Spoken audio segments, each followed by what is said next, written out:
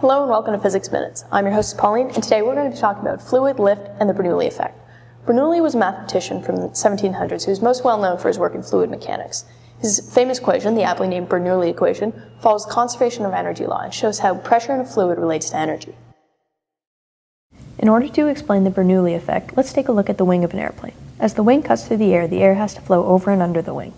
Because of the curve of the top part of the wing, the air must travel a longer distance in the same amount of time as the air under the wing, therefore has a higher velocity.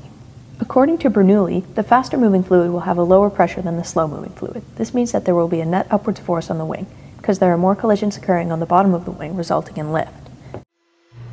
We can see this here. As the fan blows the air across the airfoil, it starts to create a region of low pressure above the wing.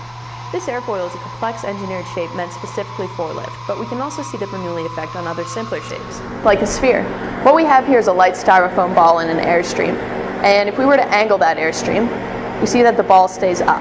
That's because the, the, air flowing over top of the ball is actually going at a faster velocity than the air going under the ball. And according to Bernoulli, that means that there's a region of low pressure on top. And that region of low pressure is actually what's opposing the force of gravity right now. Uh, in our next clip, we're actually going to show you the air flowing over top of the ball.